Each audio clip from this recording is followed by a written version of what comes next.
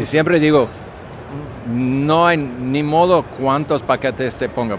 Puede que ponga 100 paquetes y un cigarro. Es imposible para poner más humedad. Solamente uh, se pasa más tiempo.